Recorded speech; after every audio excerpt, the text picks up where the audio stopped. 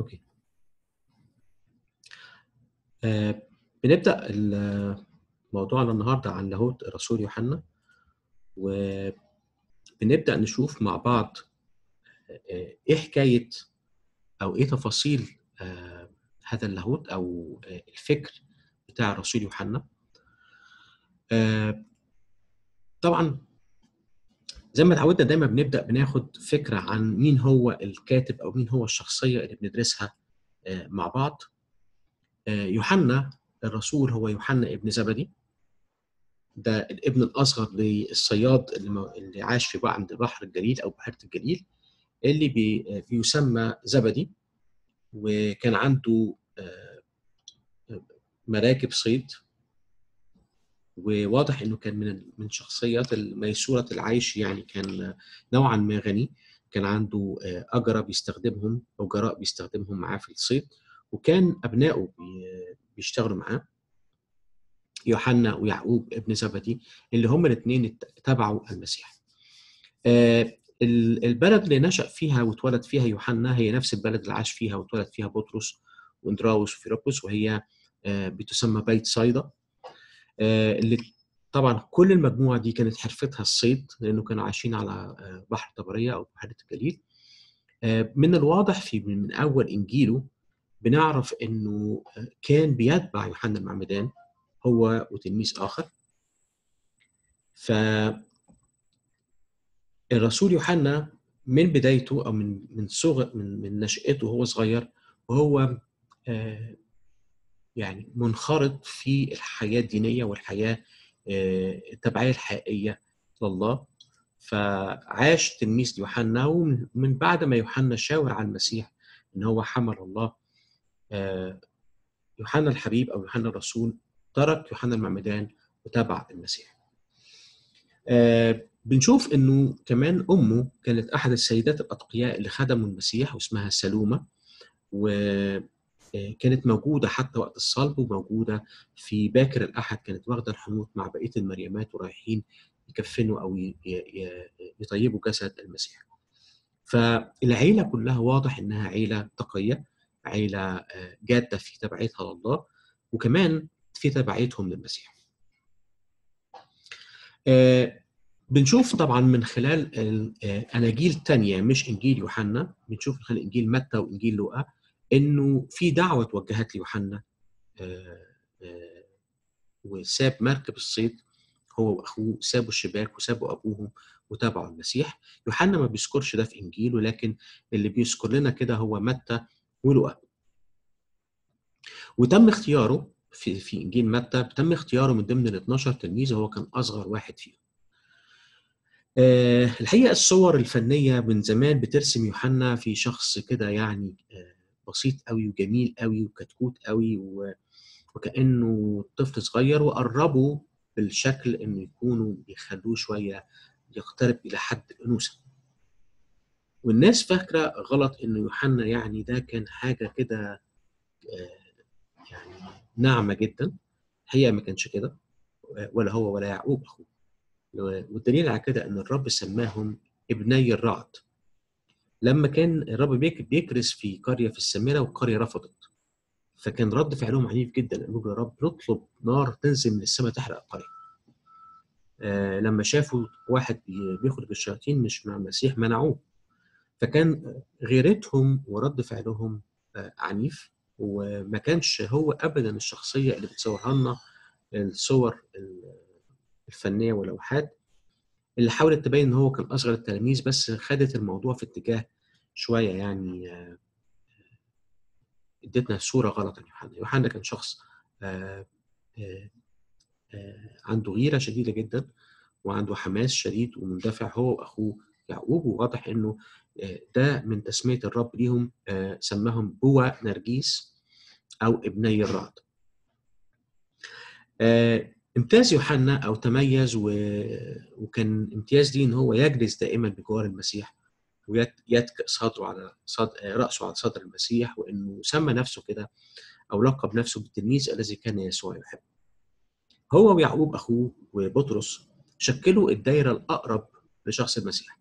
فالتفاصيل الخاصة جدا كانوا هم موجودين فيها زي حادثة التجلي زي شفاء ابن تيايروس أو إقامة ابن تيايروس دايما كانوا دي ده الجروب القريب جدا من شخص الرب يسوع عشان كده بنشوف عند الصليب الرب بيوصي يوحنا بأمه المطابه العذراء مريم فكان بيأتمنوا على أمه أو بيوكلوا إنه يخلي باله من أمه في لحظة الصليب.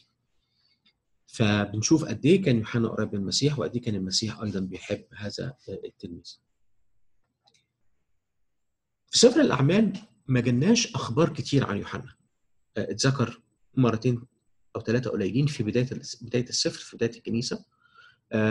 شفناه مع بطرس وهو داخل الهيكل داخل عملوا معجزة شفاء البقعة اللي عند باب الجميل. لكن بيتضح لنا من خلال الرسائل وبالأخص من خلال رسالة بولس رسائل بولس اللي بيسمي يوحنا مع بطرس ويعقوب أخو الرب اللي هو كان قائد كنيسة أورشليم بيسموهم بيسميهم الأعمدة أو المعتبرين. فبيتضح لنا من خلال الكلام اللي قاله بولس إنه يوحنا كان له دور كبير في الكنيسة في أورشليم آه لكن ما كانش هو قائد الكنيسة أو راعي الكنيسة الأساسية كان يعقوب أخو الرب اللي كتب رسالة يعقوب لكن هو وبطرس ويعقوب لعبوا دور كبير في بداية الكنيسة في أورشليم. أما فيما بعد بعد فترة معينة آه بنشوف إن بطرس آه يخرج من أورشليم وكمان بعد ما بطرس استشهد غالبا بعد ما بطرس استشهد هو وبولس يوحنا بيسافر وبيستقر في منطقة آسيا الصغرى اللي هي تركيا حاليا وبالأخص في أفسس وبيكون راعي لعدة كنائس هناك أو بيرعى الكنائس في هذه المنطقة. سنة تقريبا في التسعينات في أوائل التسعينات تم نفيه إلى جزيرة بطمس ودي جزيرة بتبعد 30 ميل غرب سواحل آسيا الصغرى أو سواحل تركيا.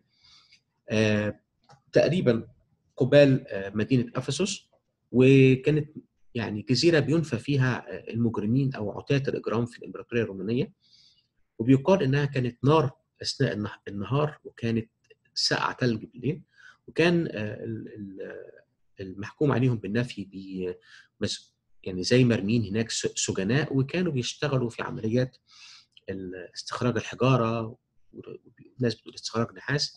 لكن يوحنا لما اتنفى كان طبعا سنه كبير وكان في حالة صعبة في الجزيرة دي. وكان وقتها الإمبراطور الروماني اللي بيترأس الموقف ده أو بيترأس الفترة دي كان من أحد يعني ال الأباطرة اللي تميزوا بالعنف وبالقسوة والاضطهاد الشديد كان اسمه دوميتيان. دوميتيان حكم من سنة 81 إلى سنة 96 يعني تقريبا 15 سنة وكان وقته من أصعب الأوقات سواء هو بعد ونيرون من قبليه. آه بعد ما آه آه مات دوميتيان بيتولى قيصر ثاني اسمه نيرفا. كان أهون شوية ونيرفا أطلق سراح القديس يوحنا من من منفاه. بيرجع تاني إلى أفسس وهناك بيرقد وبيموت الرسول يوحنا وتقريبا يمكن يكون هو الوحيد بحسب التقليد الكنسي انه يكون هو الوحيد اللي مات بدون استشهاد مات موتة طبيعية. آه، تقريبا كان عمره تخطى ال 90 سنة وده الكلام ده تقريبا كان في أواخر القرن الأول يعني يقال ما بين 98 ميلادية تقريبا 97 ميلادية وده كان وقت حكم آه، أحد الأباطرة الرومان اللي اسمه تراجان. ف... فكده نبقى متخيلين شكل التاريخ ماشي إزاي إن إحنا في أواخر القرن الأول آه، هو التلميذ الأخير اللي بقى من ضمن مجموعة التلاميذ المسيح آه، تقريبا بيموت وعمره فوق ال 90 تقريبا سنة وفاته ما بين 97 98 ميلادية بعد ما خدم الرب بأمانة و... وكان في قصة طريفة هو ذكرها في آخر إنجيله إنه آه، لما كان الرب بيتكلم بطرس في آخر إنجيل يوحنا بيقول له اتبعني أنت فجاء يوحنا كمان مع بطرس فبطرس بيقول له طب وده ماله بقى؟ إيه اللي دخله في الموضوع؟ فبيقول له أنت مالك؟ أنا لو عايزه يفضل لغاية لما أنا آجي أخليه. فبيقول يوحنا بين قوسين كده ودي أحد آه، طرق وأسلوب الخاص يقول إنه ذاع الخبر إنه المسيح هيجي تاني آه، وإنه التلميذ هيفضل حي لغاية لما المسيح هيجي تاني. لكن بيشرح إنه المسيح ما كانش بيقصد كده لكن قال أنا لو عايزه يفضل كان هيفضل. الحقيقة الفكرة دي آه، ذاعت وسط الكنيسة وكانت آه، زي ما تقول إشاعة كبيرة والناس الناس تمسكت بيها إنه طالما يوحنا لسه موجود يبقى المسيح خلاص قرب يجي. لأنه المسيح هيجي قبل ما يوحنا يموت. وربما ده كان أحد الأسباب اللي خلت الناس في الوقت في الزمن ده تفكر إنه المسيح جاي قريب قوي. وعشان كده الكنيسة كانت كنيسة بتتحرك بسرعة بتتحرك بقوة بتتحرك بنشاط دون أي اهتمام ودون أي خوف من الاضطهاد وال والأحداث اللي كانت بتعملها الإمبراطورية الرومانية من موت وقتل وحرق كل أنواع العذاب اللي شافها. طيب لو حبيت أشوف مصادر؟ لاهوت يوحنا لو أنا عايز أدرس اللاهوت بتاع يوحنا وكلمة لاهوت يوحنا يعني الفكر اللي قدمه يوحنا طبعا بالروح القدس عن آه، الله وعن الخلاص وعن المسيح أي فكر يوحنا آه، وكتاباته آه، اللي عرفتني أكتر العقائد المسيحية فمثلا لو أنا عايز أشوف ماذا قال يوحنا عن الله؟ الله الآب. إدانا إيه؟ إيه ال ال ال الإسهامات بتاعته اللي وضحت لي عقيدة الله أو وضحت لي عقيدة الشخص المسيح الكريستولوجي اللي هو بنتكلم فيه عن الناسوت واللاهوت والألوهية الكاملة والإنسانية الكاملة فداء المسيح آه، عمل المسيح خدمته. آه، أحب أشوف يوحنا قال إيه عن الخلاص؟ كتاباته وعل- و- وشكلت إزاي عقيدة الخلاص اللي النهارده إحنا بنؤمن بيها. آه، مثلا آه، فكر يوحنا وإضافاته اللي اثرى بيها مثلا آه، حاجة كبيرة زي نهاية الأيام أو الإسكاتولوجي زي ما بتسميه اللي هي عقيدة نهاية الأيام. أكتر شخص يمكن رسم لنا بالروح القدس رسم لنا معالم وتفاصيل أحداث النهاية. عشان كده بنسمي كلمة لاهوت يوحنا أو لما بنقول لاهوت بولس أو لاهوت بطرس بنقصد بيها آه، إيه اللي قاله هذا الشخص بالروح القدس طبعا من خلال كتاباته؟ وهذا هذه الكتابات وهذه الإسهامات شكلت مجمل عقيدتنا اللي بنؤمن بيها. طبعا ما بنرتكزش على واحد بس لكن بنرتكز على كل الكتابات. فلما باجي مثلا أبص للخلاص بشوف بطرس قال إيه، بولس قال إيه، المسيح طبعا قبليهم قال إيه، آه، يوحنا قال إيه، يعقوب قال إيه، يهوذا قال إيه، لوقا، متى، مرقس، كل كتاب العهد الجديد قالوا إيه. وبفهم من هنا بجمع كل المعلومات دي بصنفها مع بعض أو بجمعها مع بعض وابتدي أشوف في كل نقطة الكتاب العهد الجديد قالوا إيه. طبعا ما بيمنعش إن أنا ببص وبشوف كمان إسهامات العهد القديم في بعض التفاصيل لما بنتكلم على لاهوت الله أو بنتكلم عن لاهوت المسيح أو بنتكلم على فكرة الخلاص والكفارة في إسهامات كبيرة من العهد القديم آه، جت في العهد آه، في لاهوت العهد الجديد. طيب مصادر لاهوت يوحنا عبارة عن إيه؟ ما عنديش غير آه، خمس أجزاء برتكز عليهم إنجيل يوحنا الثلاث رسائل ثم بعد كده سفر الرؤيا. طبعا جت مقتطفات أو لمحات عن يوحنا موجودة في الأناجيل الأخرى وموجودة في سفر الأعمال لكن ما بتختصش بتعليمه أو بأقواله وإنما بتحطه من ضمن آه، الرواية اللي بيقدمها كاتب الأناجيل سواء متى أو مرقس أو لوقا اللي بيقدموها عن شخص المسيح وطبعا موجود يوحنا ضمن هذه الحكاية. لما بيتكلم عن التلميذ لما بيتكلم عنه مثلا في أثناء المسيرة كان يوحنا معاه آه، لما راح يشفي ابن تيروس كان يوحنا وبطرس ويعقوب معاه. فاللي بقصده إنه كتب عن يوحنا سواء في الثلاث أناجيل أو في سفر الأعمال مجرد لمحة عن آه، تواجده في إطار الرواية بتاعه حياة المسيح وبداية الكنيسة. لكن ما فيش حد من الأناجيل ولا الأعمال آه، إدى مكان آه، ماذا قال يوحنا. لما هندرس مع بعض في السنة الجاية عن بطرس هنلاقي انه في جزء كبير من آه، دراستنا للاهوت بطرس بيرتكز على وعظته اللي مذكورة في سفر الأعمال الوعظة الأولى اللي عملها.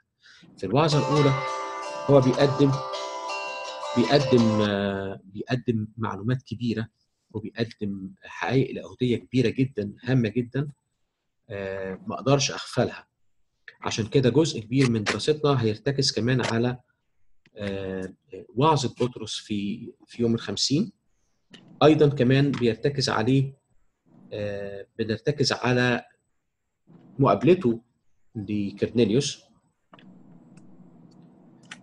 فالسفر الأعمال لما اتكلم عن بطرس إدى مجال وساب مساحة لأقوال بطرس. لكن لما اتكلم عن يوحنا ما ذكرش أبدا يوحنا قال إيه. ولا ولا وعظ ليوحنا ولا تعليم ليوحنا. فاحنا هنرتكز في دراستنا على الخمس أجزاء دول الإنجيل والثلاث رسائل وسفر طبعا مش هندرس بالتفصيل كل حاجة قالت إيه لكن هنبص بشكل عميق وبشكل تحليلي لكل سفر من هذه الأسفار. طبعا هناخد وقت شوية في الإنجيل لأنه أكبر ومن أحد الكتابات العميقة جدا والمليانة دسم. هنبص على الرسالة الأولى. برضو بشكل كبير الرسالتين الثانية والثالثه رسائل صغيرة جدا فهيكون الموضوع بتاعهم بسيط سفر الرؤيا هناخده بشكل إجمالي مش هنخش في تفاصيل كتير فيه وهنختتم آه كلامنا في آخر محاضرة بملخص للعقائد اللي قدمها لنا يوحنا من خلال كتاباته. إيه الخصائص بتاعت يوحنا؟ لما لما بتقرأ النص وتعرف إنه ده يوحنا بيمتاز عن إيه؟ يمتاز بإيه عن بقية الكتابات؟ آه لما تيجي تشوف كتابات بطرس هتلاقي بطرس آه بيخاطب يهود بشكل كبير، يعني رسالتين بطرس مكتوبين لليهود. آه رسالتين بطرس فيهم أجزاء آه لها صبغة يهودية. سامس بيتكلم على البنى الهيكل يتكلم على آه بعض بعض الأش... الرموز بعض الأفكار اللي فيها ليها علاقة بيهم كيهود لما تيجي تشوف كتابات بولس هتلاقي بولس منفتح أكتر ناحية العالم وناحية الأمم وبيعرف يتكلم بلغة مختلفة تماما عن بطرس وبيتكلم بلغة فيها يعني فيها إمكانية إنها تخاطب الذهن الإغريقي اللي كان موجود في الزمن ده أو الحضارة اليونانية اللي كانت طاغية في هذا الزمن. بيعرف إزاي يحط فلسفة وإزاي يحط تفكير منطقي وتفكير أقرب ما يكون إلى الستايل بتاع الحضارة اليونانية اللي كانت موجودة. لكن لما تيجي تشوف يوحنا تلاقي يوحنا متميز عنده عن الاثنين لا هو مصطبغ بصبغة يهودية أو مصطبغ بصبغة امميه. يوحنا متميز جدا لوحده حاجة لوحدها كده وقدم بفكر عميق جدا. قدم المسيحية في شكل رائع وقدمها بأن هي أسمى شيء ممكن حد يوصل فهنشوف مع بعض وإحنا بنبص على الإنجيل. إزاي يوحنا اولا باقتدار شديد جدا وبقيادة شديدة جدا للروح القدس بيضع لمسات متميزة جدا بيثبت بيها إنه شخص المسيح ده ملوش مثيل تاني وإنه الله فعلا الظاهر في الجسد كمان بيظهر المسيحية بإن هي نقلة في الإنسانية بعيدة حتى عن أسمى شيء وصل له الفلسفة والفكر اليوناني. آه ومن جانب آخر بيعدي بالمسيحية أو بيخطو بيها بعيدا جدا عن الحرفية والمادية بتاعة العهد القديم. رغم إن يوحنا زي ما قلنا في البداية مزروع أو نشأ وشارب من صغره الديانة اليهودية كويس قوي فاهم كويس قوي وبيحترم جدا كتابات العهد القديم.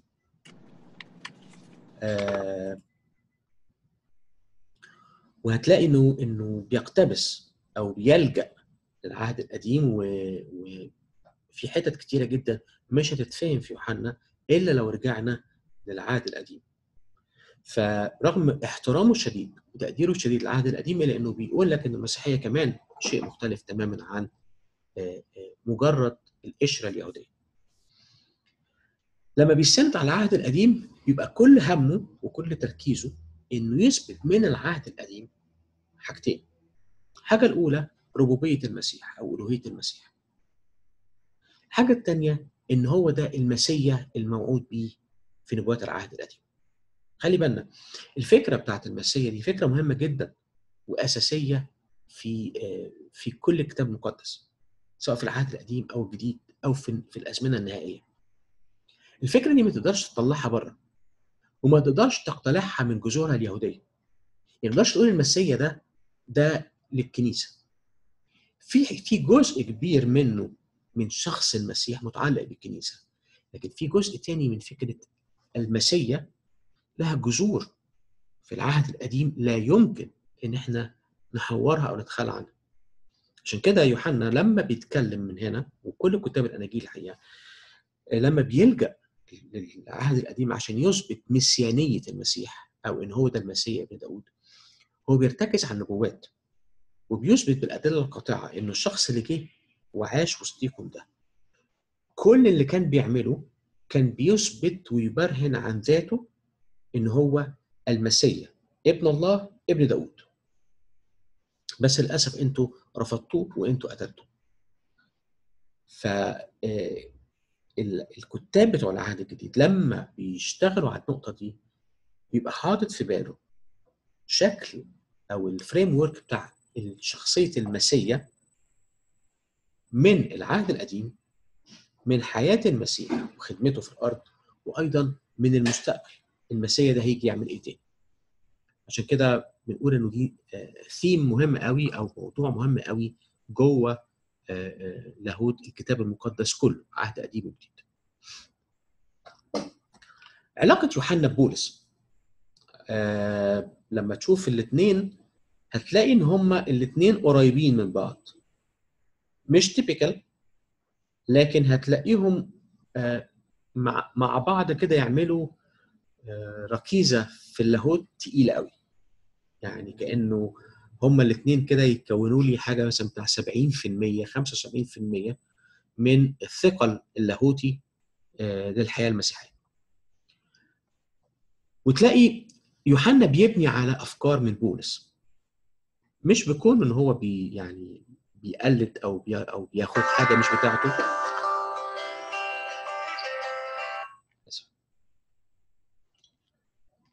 لكن فكرته إنه بيبني على على قاعدة مشتركة مع بولس لكن هو يقول حاجة وبولس يقول حاجة ثانية والاثنين يكملوا بعض.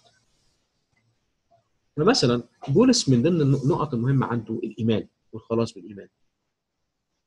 لما تشوف يوحنا هتلاقي بيتكلم عن الايمان ويتكلم بالايمان إن هو نقلني إلى حالة جديدة خالص حالة البنوية ويتكلم عن ايمان إنه دخلني في عيلة الله فالاثنين عندهم نفس الموضوع لكن كل واحد بيبص له أو بي بيكتبه بشكل مكمل للتاني. آه عشان كده بنقول إن هما الاثنين قريبين من بعض يوحنا وبولس.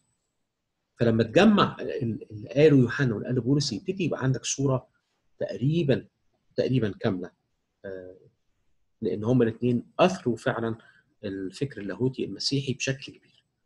ويمكن معظم الشراح والدراس دارسين الكتاب يقولوا إنه المسيح وبولس ويوحنا التعليم بتوع الثلاثه يعتبر المين كور أو القالب الأساسي والقلب الأساسي لمجمل التعليم المسيحي. أو لو عايز تقول مثلا نسبة ممكن تبقى تقول إنه بتتكلم فوق ال 85% انت بتتكلم على 85% من مجمل العقيدة تقريبا مرتكزة على تعليم المسيح تعليم بولس وتعليم. آه بطريقة لطيفة جدا بتلاقي آه قديس يوحنا وهو بيكتب عنده أسلوب لطيف قوي إنه دايما يديلك الهدف من الكتاب.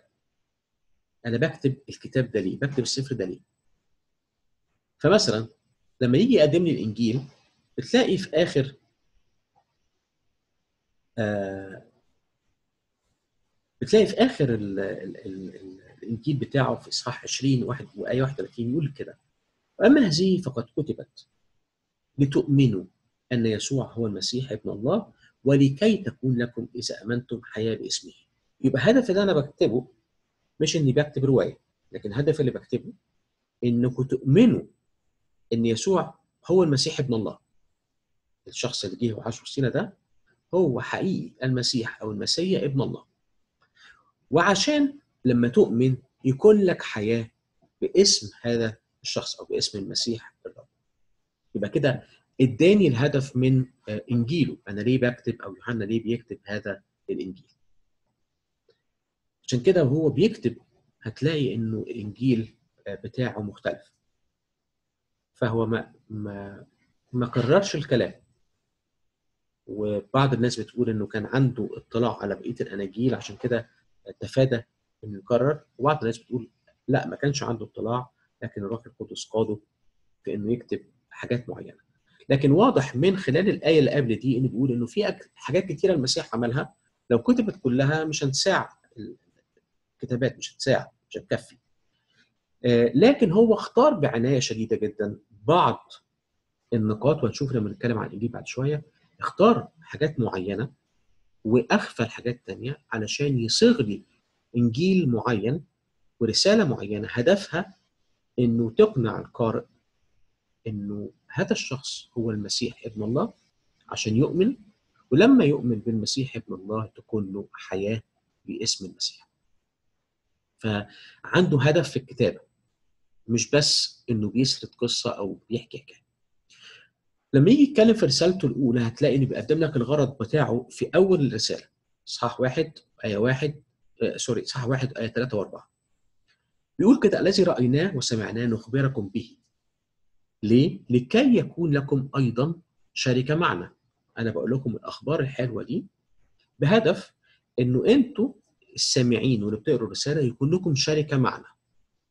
مين معنا؟ إحنا والله الآب والمسيح. وأما شركتنا نحن فهي مع الآب ومع ابنه يسوع المسيح. ونكتب إليكم هذا لكي يكون فرحكم كاملا. يبقى أنا بكتب لكم علشان يكون لكم شركة معانا وبالتالي هيكون فرحكم كامل لما تؤمنوا ويكون لكم شركة مع المسيح مع الله. في الرسالة الثانية والثالثة بتلاقيه بيركز على موضوع مهم قوي هو الحق. من أجل الحق، أنا بكتب ده من أجل الحق.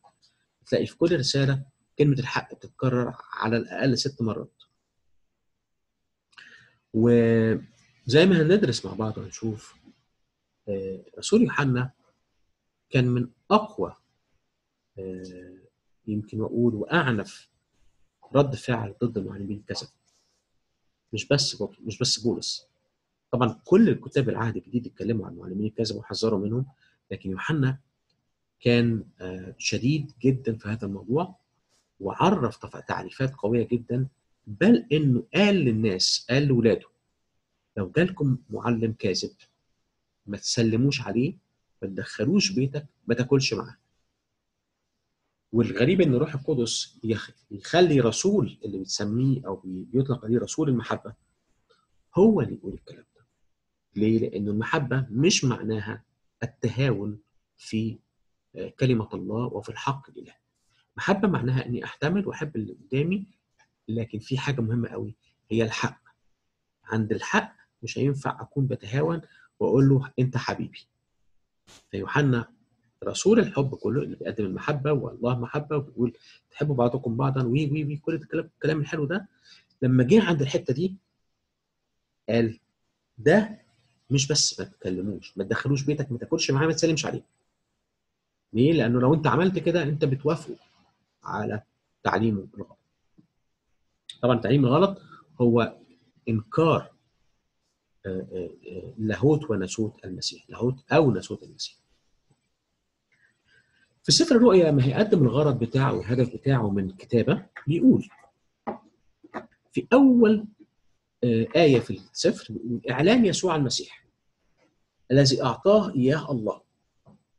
ليري عبيده ما لابد أن يكون عن قريب. يبقى الهدف من هذا السفر إنه الله أعلن ودى الإعلان ده ليسوع ويسوع اداه للكنيسة من خلال يوحنا علشان عبيد الله المسيح الكنيسة تبقى عارفة إيه اللي هيحصل الوقت الجاي. لو أنا ما خدتش بالي من الآية دي أصبح السفر كله عبارة عن صراع الخير والشر. وده اللي بي- بيتقال حديثا. ليه؟ لأنه واضح من الآية الأولى إنه الله بيعلن عن شيء وهذا الشيء مدي للكنيسه وبيقول لها أنا عايزك تعرف إيه اللي هيحصل عن قريب. لو أنا ما شفتش الآية دي اللي هي أول نقطة بيقدمها رسول يوحنا أنا ليه بكتب لكم الحكاية العجيبة دي. 22 إصحاح. آه، يعني يعني غريبة جدا. الراجل ده يمكن من أغرب الكتابات آه، أو يعني أسلوبه في إنه يعلن عن عن ال purpose بتاعه أو الفكرة بتاعته. النهارده العلم الحديث في الكتابة بيقول إنك لازم وأنت بتكتب في أول أو تاني paragraph بتقول إيه هدف كتابتك.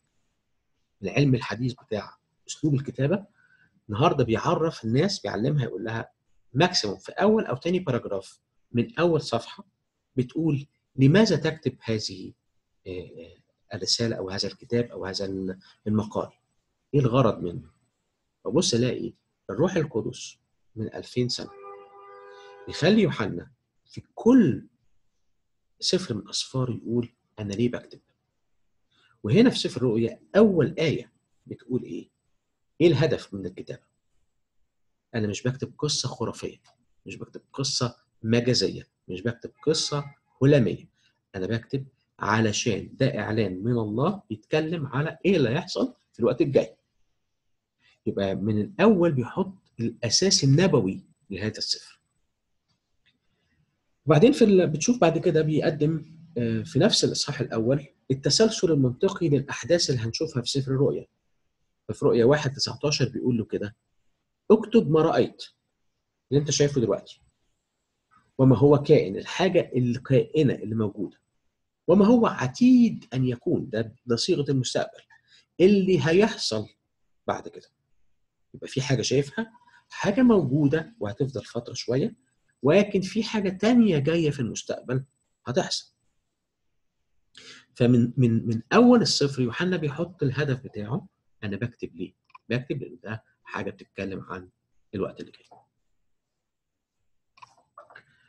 لكن في تيم معين ثيم معين بيفضل دايما آه، بيحتل الصدارة في فكر كل كاتب يعني مثلا لما أقول لك بولس بيجي على بالك على طول بولس التبرير والخلاص بالنعمة رغم إن بولس كتب حاجات كثيره جدا لكن ده ال ال السلوجن بتاعه أو تقدر تقول أهم حاجة كانت في في ذهن بولس أهم حاجة كانت في ذهن يوحنا أو الثيم الرئيسي في ذهن يوحنا هو موضوع الإيمان والحياة لما المؤمن بيكون له علاقة بالمسيح. المسيح ابن الله. فمن أول إنجيله لغاية نهاية سفر الرؤيا كل كتابات يوحنا بيحث الناس وبيشجع الناس وبيقدم الفكرة دي إنك لما تؤمن بابن الله اللي جه يسوع المسيح هيكون لك حياة.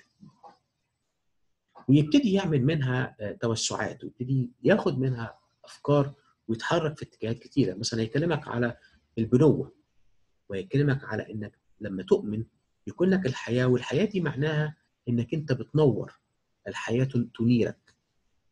يكون لك نور الحياة. إيه إيه لما تؤمن بالمسيح تشبع. مثلا لما يجي يتكلم في يوحنا 6 يتكلم على خبز الحياة يقول لهم لازم تاكلوني وتشربوا دمي. هنشوف هو بيقصد بيها إيه. كل الخطوات اللي بيقدمها يوحنا هي إزاي تؤمن؟ عشان يكون لك حياة ويكون لك حياة أفضل في المسيح. فده ال- الموضوع الأساسي في فكر آه، وكتابات قديس يوحنا. آه، أي أسئلة في الجزء اللي فات؟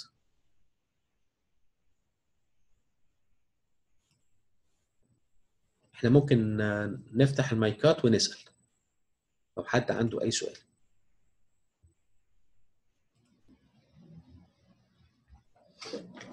طيب. ناخد أول أول كتابات يوحنا وناخد الإنجيل.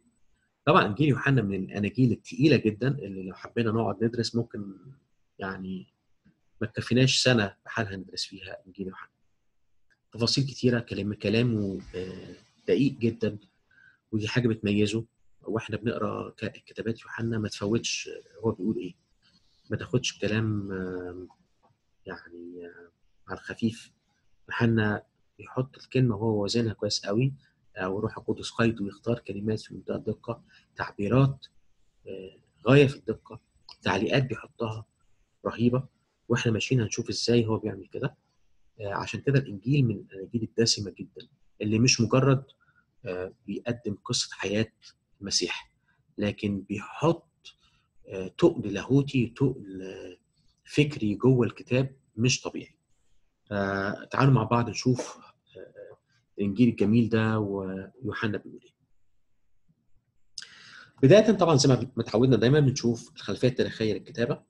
آه، تقريبا مكان الكتابة كان إفسس في تركيا. هناك آراء بتقول إنه الإنجيل ما بين الثمانينات وما بين نهاية التسعينات. ناس بتقول إنه كان آخر حاجة كتبها ناس بتقول إنه هو أول حاجة كتبها. لكن لو حبينا نفحص الموضوع كده ببساطة هنقول إنه آه، آه، الفكرة الأكثر آه، ترجيحا ان يكون اتكتب قبل نفيه إلى جزيرة بطرس وهو اتنفى تقريبا في الفترة ما بين 90 إلى 94 فربما يكون التاريخ المبكر للكتابة اللي هو ما بين 85 و 90 ربما يكون هو التاريخ الأرجح لكتابة آه، انجيل يوحنا فتقريبا أقول كده إنه اتكتب ما بين 85 و 90 واتكتب في مدينة أفسس. طيب اتكتب لمين؟ هل يا ترى اتكتب ليهود ولا ليونانيين ولا لمين؟ واضح إنه يوحنا كتب لكل الناس. واضح إنه ما كانش بيكتب لليهود بالأخص. لسببين. السبب الأول إنه سنة 85 كان اوريدي مدينه أورشليم تم تدميرها سنة 70 والهيكل اتهد. وصاحب ذلك إنه كثير من اليهود تشتتوا وهاجروا من أورشليم ومن منطقة اليهودية وراحوا بلاد تانية. ده اللي بنعرفه من خلال سفر الأعمال. مثلا ده كان قبل سنة 70 بنعرفه من كتب التاريخ. آه والناس دي لما سافرت وهاجرت من بلادها كان منهم كتير ناس مسيحيين. أو امنوا بالمسيح وهم اللي أنشأوا كنائس في الدول أو في الأماكن اللي راحوا. فأول سبب إنه تاريخ الكتابة جه بعد سنة 70 بعد دمار الهيكل وتدمير أورشليم. فواضح إنه ما كانش في يهود لسه باقيين كتير في المنطقة دي عشان يبعت لهم إنجيل زي ده. السبب الثاني سبب داخلي هو إنه بنلاقي كتير قوي يوحنا بيعلق وبيشرح تفاصيل يهودية المفروض لو أنا بكتبها لواحد يهودي مش محتاج. آه، فده بيفهمني إنه الشروحات اللي كان بيقدمها على بعض الحاجات اللي أي يهودي يعرفها طبعا بتدل إنه ما بيبعتهاش ليهود بيبعتها لناس أمميين أو ناس من مختلف بقاع الأرض ما يعرفوش العادات والتقاليد والطقوس اليهودية. عشان كده احتاجوا لتعريفات كده بين قوسين عن إيه هي الحاجات دي. لما أجي أشوف آه، سمات الإنجيل ده أو إيه اللي بيميز الإنجيل ده عن بقية الأناجيل أبص ألاقي يوحنا في الاستراكشر بتاعه وهو بيبني الإنجيل بتاعه حط في ذهنه إنه يثبت ألوهية المسيح زي ما كنا بنقول. ألوهية المسيح وإن المسيح ده هو المسيا الموعود به في العهد القديم ابن داود وابن الله فاختار سبع معجزات لم يذكروا في الأناجيل الثانية واحدة بس اللي ذكرت في بقية الأناجيل لكن في ست معجزات من السبعة لم يذكروا في الأناجيل الأخرى. والست معجزات دول آه، من خلالهم بنشوف الوهيه المسيح. ف عشان كده هو متميز عن الثلاث أناجيل مرقس ويوحنا ولوقا آه، مرقس ويعقوب ولوقا اسف مرقس ومتى ولوقا المعجزة الأولى بنلاقيها في صحاح اثنين وهي تحويل الماء إلى خمر. قد تبدو ان هي معجزة يعني غريبة وبسيطة وما إيه المشكلة يعني؟ شوية مية عمل لهم عصير أو عمل لهم خمر الفكرة هنا إنه بيحول مادة إلى مادة ثانية عشان كده عنده القدرة إلى إنه يحول شيء من شيء لشيء. اثنين شفاء ابن خادم الملك أو واحد من حاشية الملك اللي جاله وبيقول له الحقني ابني مريض على وشك إنه يموت. قال له طب أنا أروح معاك وأشفيه؟ قال له أنا مش مستحق تخش بيتي. لكن أنا واثق في إنه لو قلت كلمة تتنفذ لأني أنا كمان إنسان مرتب تحت سلطان وعندي ناس تحتية أقول ده اذهب فيذهب وهذا ائتي فيأتي. فكان الرب يسوع يعني تعجب من إيمانه ومدح إيمانه وقال له اذهب ابنك اتشفى والراجل لما رجع سأل إمتى الولد اتشفى قالوا له في الوقت الفلاني وعرف إنه بالظبط ساعة لما المسيح اتكلم الكلمة حقيقي اتنفذت أو حدثت إيه الحكاية هنا أو إيه اللي بيثبت الوهيه المسيح؟ الوهيه المسيح إنه قال فكان أمر فصار عن بعد مش محتاج يروح يحط إيده عليه ولا يصلي له ولا يلمسه من بعيد بيقول الكلمة والكلمة بتحقق تتنفذ فأدي إثبات تاني عن ألوهية هذا الشخص. المعجزة الثالثه هي شفاء مريض بركة بيت حسده. المريض اللي كان بقاله 38 سنة مقعد مستني الماء لما يجي ملاك يحركه ومستني حد يزقه في المية لكن بقى 38 سنة يئس وجاله المسيح بتقول له بيقول له أتريد أن تبرأ؟ فقال له ما عنديش حد يرميني في البركة. تخيلين واحد يقول له أنت عايز تخف؟ هو كل نظره على الخبرة السابقة الفاشلة. وفي شكل تصويري بتشوف الأمة اليهودية اللي فقدت كل الحركة. وجالها المسيح يقول لها عايز تخف؟ يقول أنا لسه مستني الملك.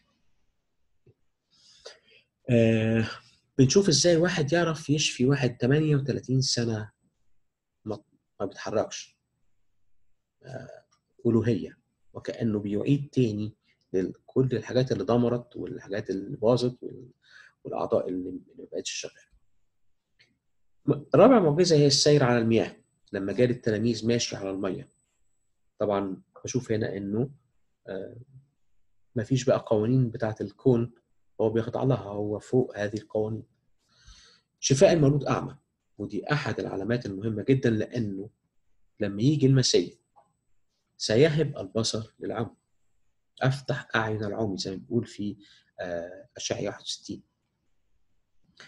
فورى لهم المسيح. إنه مش بس بيفتح أعين العمي ده بيخلق للأعمى المولود أعمى بيخلق له عينين والحوار الجميل لما نقراه هتشوف إزاي الراجل الأعمى ده لما حصلت معجزة وقف قوم الفريسيين قال لهم بتقولوا عليه خاطي أنا ما أعرفش. بس أنا أعرف حاجة أنا كنت أعمى والان ابصر أعرف كمان إن ما حدش في التاريخ كله ولا حد قدر يشفي واحد مولود أعمى. ولو ده شخص عادي خاطي مش مستحيل كان يعمل كده. ده لازم عشان يعمل كده لازم يكون الله معه. فراحوا شتموه. قالوا له خطايا أنت ولدت وجاي تعلمنا؟ فخرج بره ويسوع قابله. وبيقول له أتؤمن بابن الله؟ قال له من هو يا سيد حتى أؤمن به؟ قال له الذي يكلمك أنا هو. قول أؤمن يا سيد وسجد له. على طول الراجل عرف عرف مين هو ده. والمسيح جه بكل بساطة وده الجميل في إنجيل يوحنا تشوف المسيح لما جاي يقول عن نفسه يكشف نفسه إن هو ابن الله وإن هو المسيح ما قالهاش للعظماء يقولوا له إلى متى تحير تحيرنا وتعلق نفوسنا؟ إذا كنت أنت قول لنا أنا قلت لكم مش مصدقين. برضه مش مصدقين. لكن راح مثلا تشوف مع المرأة السامرية بتقول له أنا عارفة إنه في مسيا جاي قال لها الذي يكلمك أنا هو. والراجل الأعمى ده يجي يكلمه يقول له آه أنا هو. وأنا هو دي معروفة عند اليهود يعني ده ده التعبير بتاع يهوه. اي ام فالمسيح هو بيستخدم أنا هو بيعني بيها. أنا الرب أنا يهوه. فشيء يعني يعني جميل جدا إنه ما بين كل معجزة ومعجزة بتلاقي في حوار مبني أو ليه علاقة بالمعجزة اللي قبل أو اللي بعد.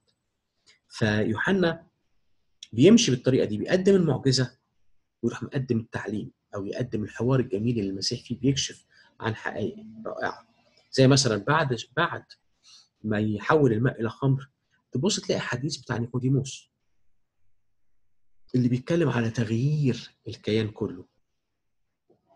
إيه لو ما اتولدتش من فوق يقول اتولد إزاي من فوق؟ يقول له في حاجة تحصل جواك حاجة مختلفة تتولد من الماء والروح تبص تلاقي مثلا بعد معجزة المولود أعمى ده أو قبلها قبلها يقول له أنا نور العالم.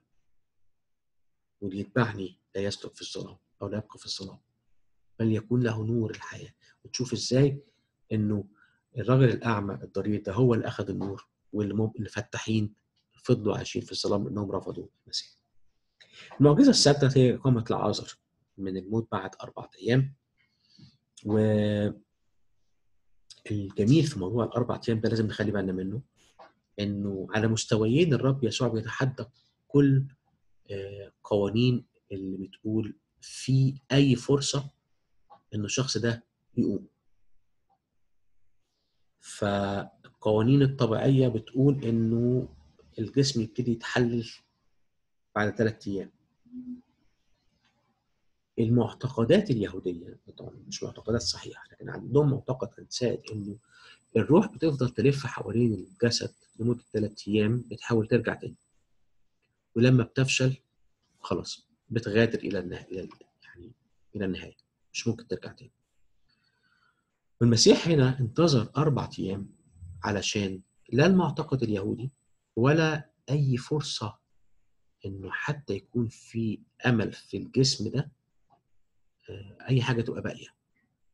أخته قالت له يا سيد قد انتن خلاص تفتح القبر إزاي انتن وكل اليهود واقفين فاقدين الأمل لكن هنا ببص ألاقي كلمة واحدة اللي كان أنتن واللي مش موجود خالص ده قام وده اللي بيوريني يعني إيه هو يستطيع إنه يغير شكل جسد تواضعنا حسب صورة جسد مجدي حتى لو كان الجسد فنى وخلص وبقى تراب وبقى مش موجود.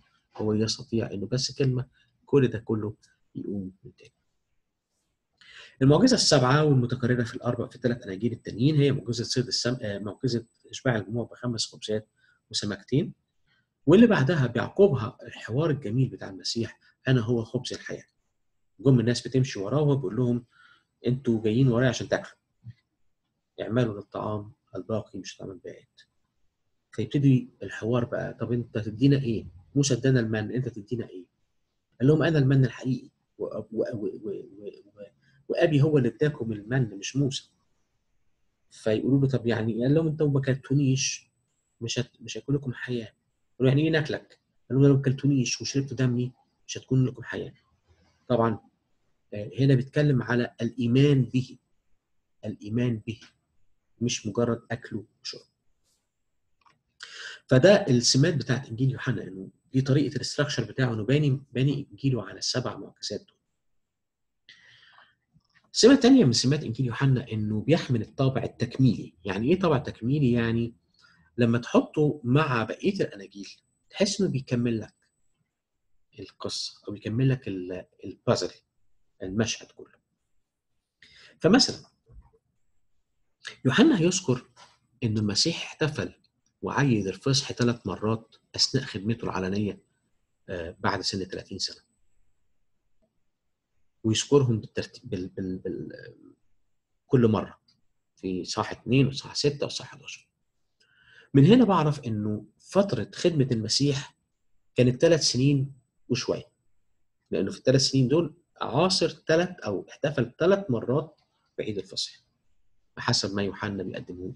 ف مفيش ولا إنجيل من التانيين قال لي المده قد إيه ولا قال لي فكرة الفصح دي. لكن يوحنا حدد إن المسيح احتفل ثلاث مرات أو عيد ثلاث مرات الفصح في في أورشليم. عشان كده بعرف إن مدة خدمته كانت ثلاث سنين وشوية ثلاث سنين ونص ثلاث سنين شوية شهور. فأدي أدي نوع من النواحي التكميلية اللي يوحنا بيقدمها.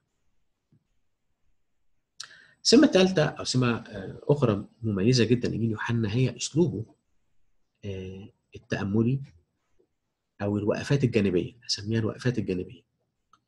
فكل لما يجي يكتب تلاقيه كأنه راح وقف شوية وفتح قوسين وعمل لك تعليق. يقول لك فيه إنه ده معناه إيه؟ أو هو كان بيقصد إيه؟ أو الناس فهمته إزاي؟ ويصلح المعلومة أو يحط تعليق بتاعه. فكأنه عنده كده دايما المشهد بتاع بين بين قوسين بيكرره لك طول ما هو ماشي. هناخد نبص على ثلاث ثلاث ملاحظات زي كده. مثلا في يوحنا 2 من آية 19 ل 25 لما كان الحوار مع المسيح بيقول لهم كده انقضوا هذا الهيكل وأنا أقيمه وفي ثلاثة أيام أقيم. فقال اليهود في 46 سنة بني هذا الهيكل أفأنت تقيم في ثلاثة أيام؟ ده ده الحوار. يروح يوحنا فاتح القوسين بتوعه يقول لك إيه؟ وأما هو فكان يقول عن هيكل جسده يبقى هو عمل إيه هنا؟ هو حك يعني يعني جاب لك شوت من المشهد والمسيح وال وال وال واليهود بيتكلموا. وراح عمل هولد أو عمل بوز على المشهد وطلع هو بيقول لك إيه؟ أشرح لك الحتة دي. المسيح كان بيتكلم عن جسده. بس هم فهموه الهيكل. ولما المسيح قام وفلما قام من الأموات تذكر التلاميذ أنه قال هذا فآمنوا بالكتاب والكلام الذي قاله يسوع. يبقى في أول أول تعليق فسر لي هو بيقصد إيه. في تاني تعليق قال لي ده كان سبب إن إحنا نؤمن كويس قوي نفهم كويس قوي لأنه لما قام إحنا التلاميذ فهمنا إنه الكلام اللي كان بيقوله هنا كان بيقصد بيه جسده وإن هو فعلا هيقوم وهو فعلا قام بعد ثلاث أيام فأمنا بكلامه وأمنا باللي مكتوب في الكتاب. فالتعليقات بتاعت يوحنا دي ده كتيرة قوي جوه جوه جوه الإنجيل بتاعه كتيرة جدا ففي كل شوية تلاقيه راح فتح ال ال ال القوس وقال لك تعليق وقال لك شرح قال لك حكاية. قال لك تمجيد لله. هنشوف مثلا واحدة ثانية. يقول كده ولما كان في أورشليم في عيد الفصح آمن كثيرون باسمه اذ راوا الآيات التي صنع.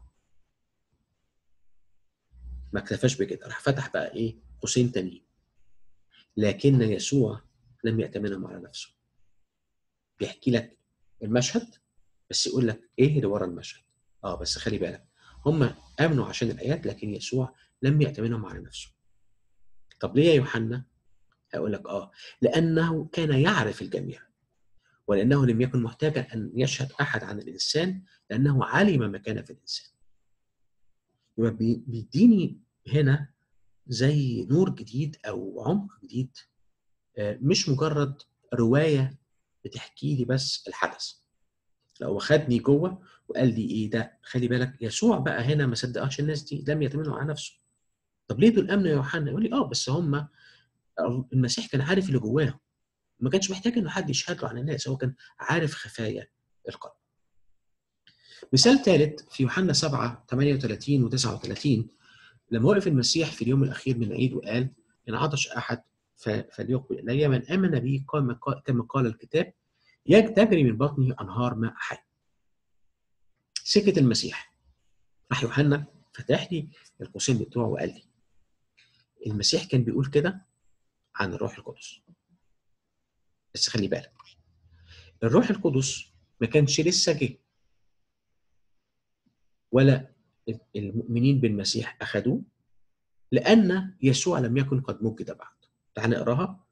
قال هذا عن الروح الروح الذي كان المؤمنون به المؤمنين بيسوع مزمعون أن يقبلوا هو بيحكي لي الحدث في في في, في التاريخ في كأنه في زمن المشهد. لكن بيروح حاطط التعليق بيقول لي إيه؟ المسيح كان بيتكلم على الروح القدس اللي المؤمنين بيسوع كان متوقع إن هم ياخدوه. ويفتح قوس تاني يقول لأن الروح القدس لم يكن قد أعطي بعد. وقت ما المسيح كان بيتكلم ما كانش لسه خدوا عطيه الروح القدس ويقول تاني ليه؟ لأن يسوع لم يكن قد مجد بعد. من هنا يوحنا حط ركيزة مهمة جدا جدا جدا في عقيدتين، عقيدة الروح القدس وعقيدة الكنيسة. تقول إزاي؟ أقول لك أول حاجة بيفهمني عن خدمة جديدة للروح القدس هتتم بعد تمجيد المسيح. يعني إيه تمجيد المسيح؟ هيشرح نفسه في الآخر حديث للمسيح مع التلاميذ في الصح 17 لما هيصلي للأب يقول له مجدني بالمجد اللي كان لي عندك قبل تأسيس العالم. آه يعني إيه؟ بعد ما المسيح يتم الفداء ويصعد ويجلس تاني في مجده. يسكب الروح القدس من العالي يبقى يبقى الرسول يوحنا بيحط الإسهام بتاعه هنا إن الروح القدس كان لازم يجي بعد ما يسوع يتمجد. ما كانش هيجي قبل كده ولا حتى في الصليب. كان لازم بعد ما يسوع يصعد وده اللي قاله المسيح الروح القدس هيجي. يبقى من هنا بفهم من من كلام يوحنا وكتابات يوحنا إن الروح القدس كان لسه هيجي بعد صعود المسيح. وكان هيجي لمين؟ للمؤمنين بيسوع. ويسكن فيهم. ده الخدمه الجديده اللي بتظهر لي في سفر الأعمال. لأن يسوع لم يكن قد موجد بعد. يبقى إذا بفهم كويس قوي بقى. إن لما أجي عند عقيدة الكنيسة. أفهم إنه إيه؟ عشان الكنيسة تتوجد كان محتاج يحصل حاجة. المسيح يتم الفداء ويرجع إلى مجده وروح القدس يجي. لما روح القدس هيجي تبتدي الكنيسة. ده اللي إحنا كنا بنقول عليه إنه الكنيسة بدأت يوم الخمسين. بدأت بانسكاب الروح القدس. فشوف الجملة الصغيرة دي أسهمت إزاي في فهمي لعقيدة الكنيسه عقيدة الروح القدس؟ رائع. ولولا لولا التعليقات دي أفضل أنا محتار ومش عارف. فهو شرح. المسيح بيتكلم هنا بلغة مجازية على فكرة. يعني المسيح بيتكلم على بط تجري من بطنه أنهار ماء حي يعني إيه؟ يعني إيه تاخد تخرج من بطني مية؟ مش فاهمها. فعليا ما تفهمهاش. لأن هو بيتكلم بشكل صورة تعبيرية. عارفين figure of speech أو بيتكلم بشكل مجازي أو شكل كناية واستعارات واقف بيقول لهم المية دي مش هي دي المية الحقيقية؟ اللي يؤمن بيا هتجري من بطنه أنهار ماء حي طب إيه هي أنهار ماء حي يوحنا راح فتح قوسين وشرح لي فدي من ضمن المميزات الجميلة جدا آه لأسلوب يوحنا في الإنجيل. طب علاقة آه خلينا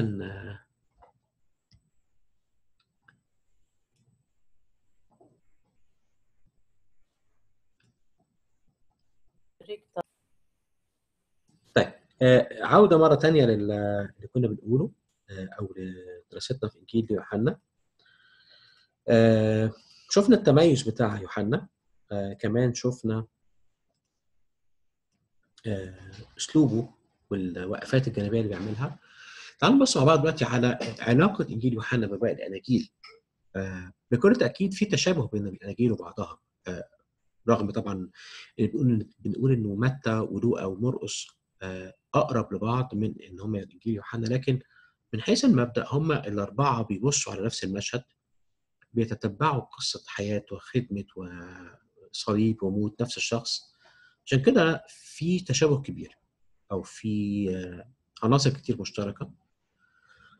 كل واحد كان عنده اسلوبه المختلف والمتميز وكل واحد كان عنده وجهة نظره وهدفه اللي بيكتب منه الإنجيل بتاعه. لكن بشكل عام عندنا حاجات مشتركة زي مثلا بيتكلموا على خدمة المعمدان كسابق للمسيح وبعدين بداية خدمة المسيح العلنية اختياره للتلاميذ معجزاته تعليمه كراسته المناوشات كانت بتحصل كتير مع اليهود. أو الفريسيين والكهنة. إزاي؟ كان دايما في حوارات وكان في زي مواجهات ما بينه وما بينهم. الأناجيل الأربعة بتروي لي قصة أحداث المحاكمة والصلب والموت والدفن والقيام. فعندنا حاجات مشتركة الأربع أناجيل بيشتركوا فيها لكن زي ما شفنا إنه يوحنا تميز بانه قدم معجزات مختلفة. ما قدمش تعاليم كتيره ما قدمش الأمثال مثلا لكن بيقدم مكانها حوارات ممتعة جدا. ما اتذكرتش في بقية الأناجيل زي مثلا لقاء المسيح بالسامرية حوار المسيح مع نيكوديموس الحوار مع المولود أعمى لقاء المسيح مع توما مواجهات المسيح مع الشعب في حوارات مثلا زي حركم الإبن تكونون أحرارا. خبز الحياة أنا هو نور العالم أنا هو الراعي الصالح أنا هو القيامة والحق والحياة.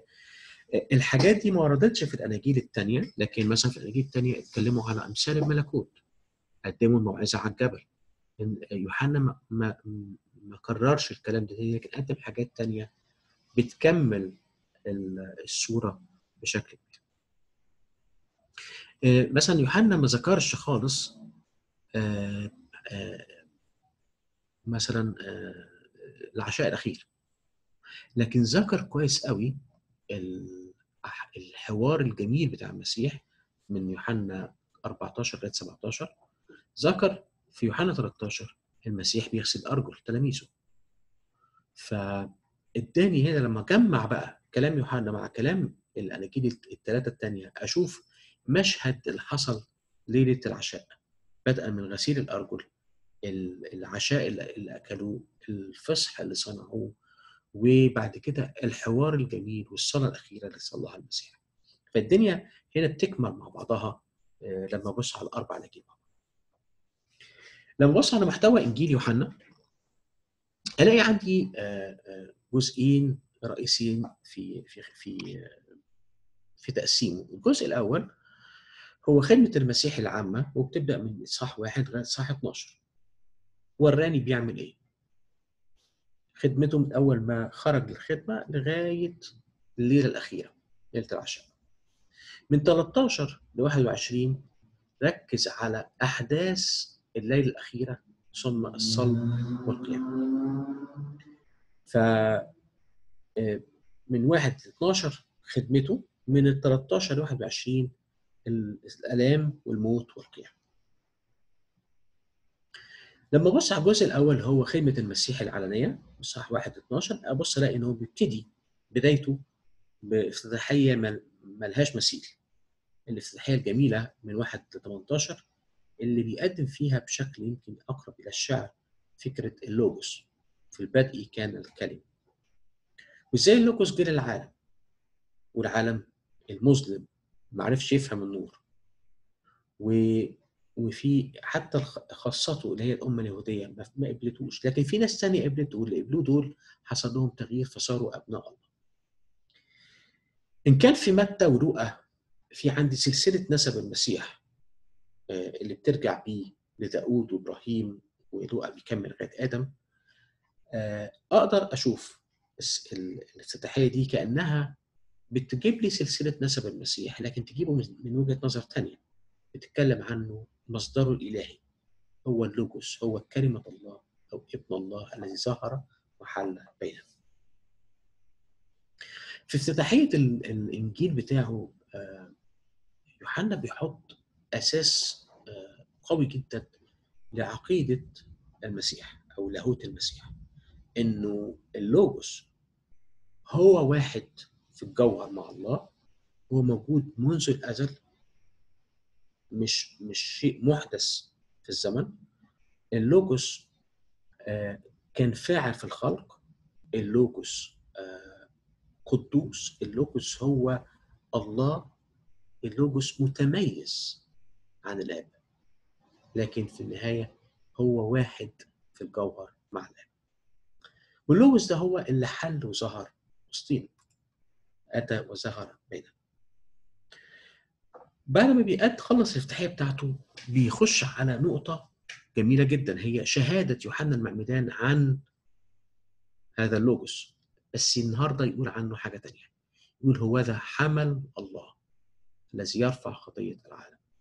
اذا بيستخدم نفس ال terminology اليهودي لكن بيحط فيها فكرة إنه الله هو الذي سيقدم هذه الذبيحة. هو اللي هيقدم هذا الحمل مش أنت. في حاجة جاية لك من فوق. والفكرة دي هتستمر مع يوحنا لغاية النهاية. لغاية الآخر. سواء في صلب المسيح هنشوف إنه هيركز إنه المسيح مات في يوم الفصح بالظبط وقت ما بيتذبح هذا الخروف. وفي الرؤيه هيشوفوا إن هو إيه؟ الخروف القائم وكأنه مسبوح. وهيشوفوا في النهاية إنه الحمل اللي بتزفر له الكنيسة. هيشوف إن هو موجود معاه في الأبدية. هو النور بتاع المدينة. إذا فكرة الحمل دي فكرة بتبتدي في أول كلمات يوحنا وتفضل مستمرة معاه لغاية النهاية. فما عندوش آه انفصال في الحتة دي. سلسلة جميلة أو خط ذهبي جميل ماشي في كل فكر آه الرسول يوحنا. بعدين بيورينا إزاي النور أو ال أو ال ال ال الكاميرا بتنسحب من على يوحنا المعمدان وتتجه ناحية المسيح. تلاميذ يوحنا منهم ناس بتسيبه وبتروح تمشي ورا المسيح بيختفي يوحنا ويطلع المسيح بس لوحده في المشهد. ويبتدي تعليمه معجزاته آه وكل ده بيثبت خطوة بخطوة بيثبت ألوهية المسيح. في حوارات غاية في العمق. بيوريني إزاي المجادلات اللي حصلت بين الحقيقة المسيح وبين إيه التدين أو القشرة المتدينة الموجودة في رؤساء الكهنة وفي الكهنة والفريسيين. لما بيش بيشتد هذا الحوار وتشتد هذه المصادمات المسيح بيقول كلمته الأخيرة بيقول لهم سيروا ما دام لكم النور لئلا يدرككم الظلام. وبعدين يقول جملة غريبة جدا ثم مضى واختفى عنهم وكأنه لأنهم رفضوا النور. النور بياخد بعضه ويمشي ويسيبهم عايشين في الظلمة. أما الجزء الثاني اللي هو آلام وموته وقيامة المسيح فبيبدأ من ليلة العشاء الأخير بس ما بيذكر ما بيذكرش العشاء زي ما قلنا. يذكر إنه السيد بينحني ليغسل أرجل تلاميذه. وأول إصحاح ده يقول حاجة جميلة قوي إيه؟ يسوع وهو عالم من أين أتى واين يمضي؟ يعني اللي بيتضع يغسل الرجلين ده عارف كويس قوي هو مين. عارف كويس قوي إن هو الله عارف كويس قوي إن هو مكانه فوق مش هنا لكن بكل اتضاع هو النهارده واقف أو بينحني يغسل رجلين تلاميذه. بيقدم لي حديث رائع من إصحاح 14 لغاية 17 المسيح بيتكلمهم بقى وبيفهمهم بيقول لهم على خدمة الروح القدس بيقول لهم على مجده الذاتي بيقول لهم إن هو رايح يعد مكان ويجي ياخدهم. بيتكلموا عن الله الآب. في 17 بيذكر حقائق يعني أعتقد إن التلاميذ ما كانش حد فيهم فاهم ولا حاجة منها إلا لما جه الروح القدس. لما يقول الآب إنه مجدني بالمجد الذي كان لي عندك وأنا أريد إن هؤلاء الذين معي يكونوا يكونوا إن أنت أعطيتني يكونوا معي ويكون فيهم المجد اللي أنت اديتهوني عشان يكون كلنا واحد. أعتقد ما يعني هم مستحيل يكونوا فهموا أي حاجة غير بعد ما الروح القدس جه فحديث جميل جدا آه روايه القبض على المسيح والمحاكمة الهزلية بتبين لنا إنه قد إيه الموضوع كان يعني ملفق والناس دي ظلمت الرب يسوع انه في النهاية هذا البريء هو اللي بيسلم للموت لكي لا يهلك كل من يؤمن به. آه بيأكد إن المسيح اتصلب في وقت الفصح علشان ما حدش يفكر إنه الرمز كان حاجة والحقيقة اختلفت. لا الحقيقة بتتنفذ بالظبط زي ما الرمز أشار المسيح بيصلب في وقت الفصح بالظبط. وبينتهي كلماته قد أكمل علشان يقول كده إنه هذا الموت أو هذه هذه الذبيحه كانت تتميم لخطة الله للفداء. في القيامة يوحنا كان شاهد عيان يوحنا جري وراح شاف القبر الفارغ في أوله وهو وبطرس فبيروي من واقع إنه شاهد عيان وشاف شاف الأحداث بيحكي الحكاية. بينفرد طبعا بالحديث الجميل اللي المسيح بيتكلمه مع المجدلية واللي فيه بيقول لها زي ما هنشوف بعد مرة اللي جاية ما بيقول لها اذهبي وقولي إلى إخوتي أول مرة يتكلم عنهم إخوته إني أصعد إلى أبي وأبيكم نقلة جديدة في البشرية كلها اللي امنت بيه إنهم بقوا بإخوته وبقوا أبناء الرب. آه بيظهر للتلاميذ عدة مرات مرة وطبعا معاهم مرة مش معاهم علشان يبرهن إنه ظهوراته دي بتأكد إنه حقيقة مش مش وهم.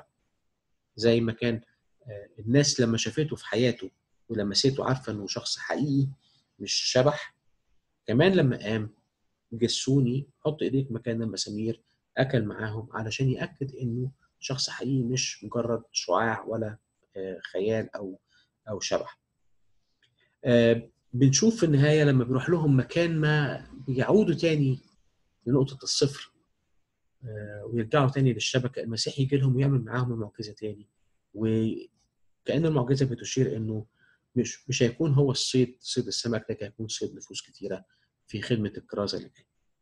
آخر حاجة بيختم بيها رسول يوحنا إنجيله هي الحوار الجميل بينه وبين بطرس آه التلميذ اللي سقط وخان أو أنكر الرب بيجي له بيرجعه تاني وبيرد نفسه بيورينا آه القلب الجميل بتاع الراعي المسيح اللي بيرعى حتى التلميذ اللي أنكر أمام جري آه تركيز يوحنا كله في الإنجيل كان على النقاط اللي إحنا اتكلمنا عنها إنه المسيح إنسان كامل حقيقي إله حقيقي وهو المسيح. النقطة الأولى ما كانش عليها جدال لأنه الناس كلها عارفاه والناس كلها شافته اتعاملت معاه.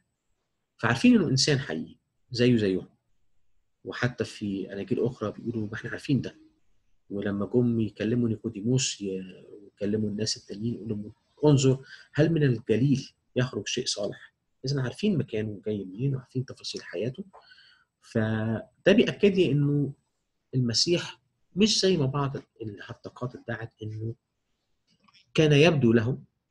لا المسيح كان حقيقة كان موجود عاش وشافوه لمسوه وعاشوا معاه.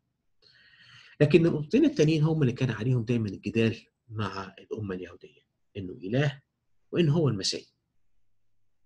فمثلا في صح خمسة وآية 18 يقول كده فمن أجل هذا كان اليهود يطلبون أكثر أن يقتلوه لأنه لم ينقض السبت فقط بل قال أيضا عن الله أنه أبوه معادلا نفسه والله يبقى كان الحيرة وال... وال... وال... وال... الفعل العنيف من اليهود إنه المسيح بيقول عن نفسه إن هو الله. إزاي؟ لما قال إن هو ابن الله. فمفهوم من كلمة ابن الله إنه بيعادل نفسه بالله عشان كده كانوا عايزين يقتلوه. صح سبعة ومن آية 40 42 كده فكثيرون من الجمع لما سمعوا هذا الكلام قالوا هذا بالحقيقة هو النبي. آخرون قالوا هذا هو المسيح. وآخرون قالوا ألعل المسيح من الجليل يأتي؟ بقى معقول؟ المسيح المسيح يجي من الجليل؟ الجليل أصلا منطقة يعني سيئة السمعة يعني. ألم يقل الكتاب؟ بص بيقولوا إيه. ألم يقل الكتاب أنه من نسل داود ومن بيت لحم القرية التي كان داود فيها؟ يأتي المسيح. يا يعني أنتوا عارفين هيخرج منين؟ طب ما هو أصلا اتولد في بيت لحم. بس أمسكت أعينهم أو أو يعني أعميت أعينهم. في صح 10 آية 33 أجابوا اليهود لسنا نرجمك لأجل عمل حسن بل لأجل تجديف فإنك وأنت إنسان تجعل نفسك إلها. يبقى اليهود كانوا عايزين يقتلوه ليه؟ بيقولوا له أنت جدفت لأنك وأنت إنسان بتجعل نفسك إله. يبقى كان الديبيت هنا وكان ال ال الصراع هنا عن نقطتين إنه ده المسيح وإن هو الإله. إنما فكرة الناسوت أو إن هو إنسان آه إحنا شايفينك إنسان. وده اللي يوحنا بيوريه فكرته الأساسية واللي بيعيد بيعيد ويزيد فيها هي إنه الله أرسل ابنه المسيح يسوع المسيح العالم علشان يخلص العالم ويهب حياة أبدية لكل من يؤمن به. ده اللي موجود عندنا في صح 3 وآية 16. النتيجة اللي بيقدمها يوحنا لكل من قبل هذا الخلاص إنه بيحصل لك حاجتين بتختبر البنوة والأبوة يعني إيه؟ بيركز يوحنا إنه الخلاص مش بس فكرة إنه خطيتك اتغفرت. الخلاص حاجة أبعد من كده. الخلاص نمرة واحد إنك يكون لك حياة. والحياة دي حياة مختلفة عن الحياة اللي أنت بتحياها. حياة من طبيعة الله. حياة فيها ثمرها فيها حياتها فيها ثمر الحياة نور الحياة. والحياة دي بتخليك تبقى ابن. لما آمنت بالابن أصبحت أنت ابن الله. بتسري فيك حياة الله وبتنتمي رأسا إلى الله. ده اللي بيقدمه في أول إنجيله فدي النقطة اللي كانت شاغلة يوحنا هي البنوة إنه بيحصل تغيير للمؤمن ويصبح ابن لله أو تصبحي ابن لله. إزاي؟ لما آمنت أو آمنتي بالمسيح اللي الآب أرسله وأعلن فيه كل ذاته إليك. لما وضعت ثقتك في المسيح، لما وضعت ثقتك في المسيح، لما قابلتي الحياة اللي حصل إنه بقيتي ابنه أو بقيت ابن الله. النقطة الثانية بتاعت الأبوة ده الفكرة بقى العميقة جدا في فكر يوحنا إن الإنسان قبل المسيح كان ضال وكان عايش في حالة توهان. ليه؟ لأنه كان مفتقد وجود الأب. وأقصد الأب أبوة الله. ده اللي حصل مع آدم. آدم لما أخطأ خرج من تحت الأبوة دي. وخرج من تحت الأثوريتي العظيمة بتاعت الله. وانفصل فاستقل فعاش تايه وعاش تعبان وخلف بشرية تايهة. في الإنجيل بيقول إنه الإعلان اللي الله قدمه في المسيح مش مجرد أنا بسامحك على خطيتك. دي حتة على جنب. الإعلان الأكمل هو الله بيظهر نفسه كأب لهذه البشرية الضائعة بيقول لها تعالي تاني. تعالي إلى المكان الراحة إلى أبوتي. فالخلاص في جزئية مهمة قوي هي عودتي أو عودة الإنسان إلى أبوة الله. ويرجع تاني يلاقي الأثوريتي الأبوية اللي اللي بتعرف تقود وتتحرك بيه وتحكمه. لما بيتكلم المسيح بيتكلم مثلا في يوحنا 17 بيقول كده وهذه هي الحياة الأبدية أن يعرفوك أنت يدخلوا في العلاقة معك يعرفوك أنت الإله الحقيقي وحدك ويسوع المسيح الذي أرسلته آية 26 في في كلمة في النص بس أرجو تخلي بالك منها. بيقول كده عرفتهم اسمك. إيه هو اسمك؟ اسمك أب. البشرية بتعرف إن ليها أب. عرفتهم اسمك وسأعرفهم ليه؟ ليكون فيهم الحب الذي أحببتني به. حبك الأبوي يا أبي اللي أنت حبيتني بيه لما إخواتي دول أفتح عينيهم ويعرفوك أنت الآب ينسكب حبك الأبوي ليهم هم في الحالة دي يحصل الوحدة ويرجعوا تاني في عيلتنا عشان كده بيقول لهم إيه؟ يقول له إيه؟ يكون فيهم الحب الذي أحببتني به وأكون أنا فيهم. وهيقول له بعد شوية عشان نكون كلنا واحد. ولما بنمشي أكتر بعد كده في الرسائل وبالذات في في روميا شفنا مع بعض روميا 8 لما بيتكلم على تواجدك كمؤمن أو تواجدك كمؤمنة أو ابن الله جوه تعامل الثالوث الله الآب والابن والروح القدس فكأنه إعلان الله هنا مش بس بيقتصر على فكرة أن اغفر خطيتك أو تروح الجنة ما تروحش النار تروح السماء ما تروحش النار. الموضوع له نقلة كبيرة جدا. هي إنك بتدخل إلى علاقة مختلفة تماما هي علاقة الابوه وأنت بقيت ابن أو ابنة والله هو ابوه هيكمل يوحنا بعد كده في الرسالة في رسالته يتكلم عن عائله الله وعن الجو الأسري اللي موجود. حتى لما لما المؤمنين بيغلطوا إزاي بتتم معالجة الخطأ وكسر الشركة ده؟ جوه إطار أسري وده إطار عائلي. ملوش علاقة بإنك تهلك أو ما تهلكش.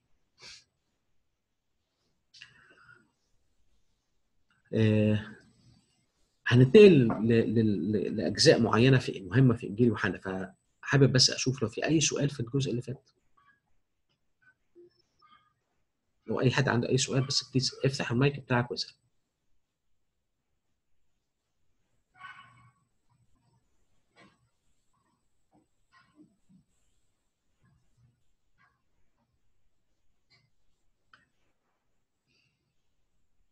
طيب أوكي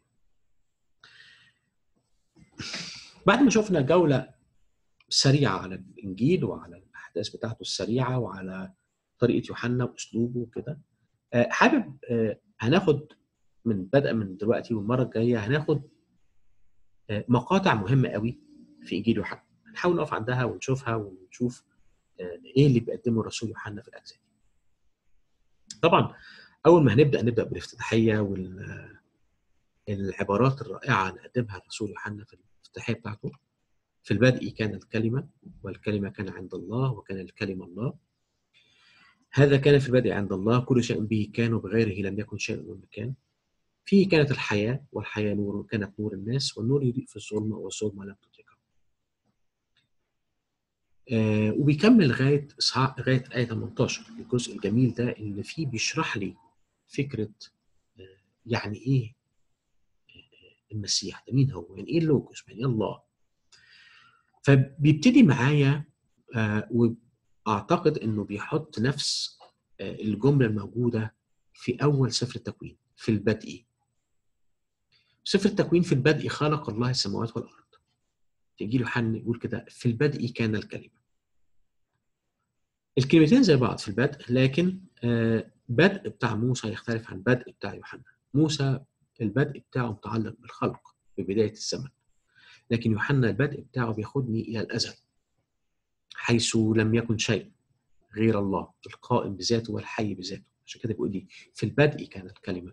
الكلمة ما هواش حد خلق ما هواش حد استحدث لكنه كان منذ الأزل وكان الكلمة عند الله فبيوريني إنه في تميز لكن على طول يقول وكان الكلمة الله. جوهر واحد في تميز لكن في جوهر واحد. لما بيستخدم كلمة الكلمة أو اللوجوس الكلمة حد التعبير ده في حد ذاته كلمة لوجوس أو الكلمة لها صدى في الناحيتين لها صدى في الفكر اليوناني ولها صدى في الفكر العبري أو الفكر اليهودي. معني إيه؟ يوحنا ما بيستخدمش كلمة آه، غريبة بيستخدم كلمة هتخبط في اليهودي وهتخبط في اليوناني. ويفهمها كويس اليهودي ويفهمها كويس اليوناني. طب إزاي؟ الفكر اليوناني وصل آه، في فلسفته لحتة عالية قوي. آه، قدمها واحد اسمه زينو. زينو ده كان المؤسس المدرسة الرواقية اللي بتسمى ستويسيزم. المدرسة الرواقية دي كانت فلسفة بتقول إنه الكون العظيم ده لابد أن يكون وراه منطق. في منطق منطق مطلق بيحكم. منطق مطلق بيحكم يعني في عقل ورا الكون المنتظم ده. بس ما قدرش يتخيل أنه المنطق ده ممكن يكون شخص. يقول إنه في في في logic بيحكم الكون في absolute logic أو absolute reason بيحكم الكون لكن ما قدرش يشوف شخصانية الله أو إن الله شخص أو إنه في أي علاقة ممكن تتم ما بيني وما بين هذا الشخص. هو مش هو مش شايف ده. وقال إنه ايفن حتى لو إنه هناك شخص أو هناك إله هذا الإله موجود في عالم الآلهة ملوش علاقة بالبشر ولا بيعير أي اهتمام للبشر عالم البشر. فهو وصل لحتة. والحتة دي كويسة قوي إنه مستحيل يكون المنتظم ده العجيب ده العظيم ده يكون بيتحرك بلا منطق وبلا عقل واعي بيحرك أو logic يوحنا بيستند للكلمة دي ولما بيقدم اللوجوس في أول ما بيقدمه عايز يقول له كأنه بيقول له أنت آخر ده آخرك ده تعالى بقى آخدك من آخر ما وصلت لك وصلت له عشان أقول لك إنه ده بداية القول بتاعي. تعالى أقول لك مين هو اللوجوس اللي أنت ما تعرفوش. في البدء كان اللوجوس ولما بيستخدم الكلمة هنا ما بيستخدمهاش في صيغة اليوناني في المؤنث والمذكر وفي النيوتر اللي هو كأنك بتستخدم عن جماد مثلا. فما بيستخدمش الكلمة في صورة لا جماد ولا مؤنث بيستخدمها في صورة مذكر مما يعني أنه بيقصد بيها شخص مش بيقصد بيها كلمة لأنه عندهم حاجة تانية اسمها λαλιά اللي جاي منها λέγω λαλιά اللي هي الكلام. لكن بيقصد باللوجوس هنا إن هو اللي جاي منها ال logic إنه شخص ومنطق وعقل. فعشان كده بقول ليها صدى عند عند الفكر اليوناني فهو قدر بيخاطبهم بنفس ال terminology أو المصطلح اللي هم يفهموا لما أجي أبص على على اليهودي واشوفه بيقول له إنه الكلمة الكلمة في الفكر اليهودي لها معنى دي كلمه الله. فارتبطت بإعلانات الله وبكتابات العهد القديم وإن الله بيتكلم ليهم وكلمهم بطرق كتير زي ما في بيقول.